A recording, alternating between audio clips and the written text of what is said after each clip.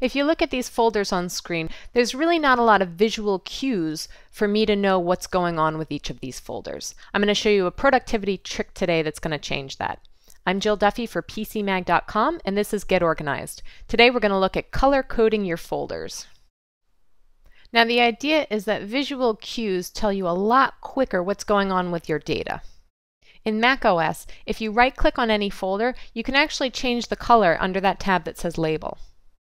So I like to use colors to tell me when my folders contain work that's in progress, work that's finished, or work that I'm not really working on yet. Mac gives you eight colors, seven choices plus not having a color at all, although I tend to use only three or four because more than that's just too much to remember what's going on. Now unfortunately in Windows it's not quite as simple. In XP you can change the icon of the folder, which is at least something. On Windows 7 you'll have to install a small program that will just let you change the color of the folder. Now let's go back to the Mac.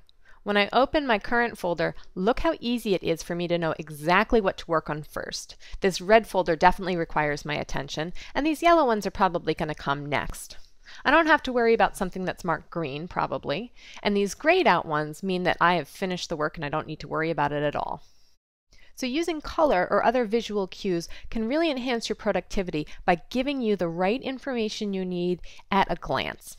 For PCMag.com, I'm Jill Duffy, helping you stay organized. Email me anytime at jill underscore Duffy at PCMag.com.